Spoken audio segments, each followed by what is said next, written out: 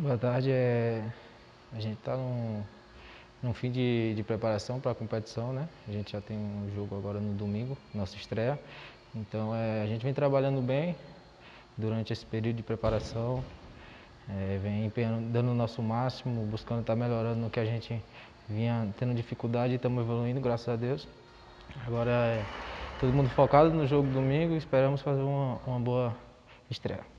Quando a gente se joga num, num clube que nem, que nem o 13, a gente sabe que tem, sempre vai haver muita cobrança e, e a gente sabe que por a gente não ter, ido, não ter conseguido o objetivo no, nos amistosos, a gente vem um pouco com um pouco de dúvida, né? A torcida está com um pouco de dúvida no nosso trabalho, mas agora a gente sabe que temos que estar tá com a cabeça toda voltada para a nossa estreia, porque o que passou, passou e a partir de, de domingo a gente vai estar trilhando uma caminhada muito vitoriosa.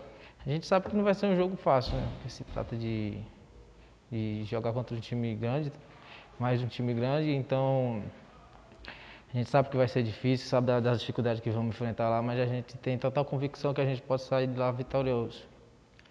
Com certeza, o intuito é esse, a gente vem trabalhando, vem se dedicando ao máximo para que a gente possa esse ano estar tá Está garantido uma vaga na, na segunda fase. É, o pensamento da gente é esse, em estar tá passando de fase, em dar o nosso melhor aqui para que colocamos o 13 no lugar. Que deve estar e é sempre lutando e batalhando pelas competições que, que entram.